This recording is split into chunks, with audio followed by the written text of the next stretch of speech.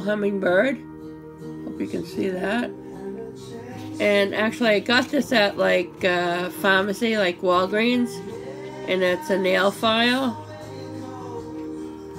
And we got one, two, three, and four. Four is what gives you the best shine. But I start with one.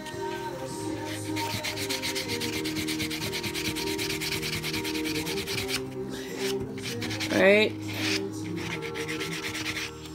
Then, uh, you know, two.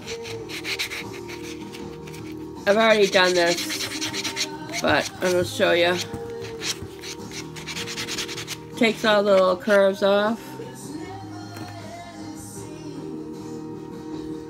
There's the back. Um, but then, uh, so this is what it looks like now. I'll pause it and then uh, show you. Yeah, so I don't really like the way it's coming out. I mean, it is shiny. See how it's getting a shine? But, oh.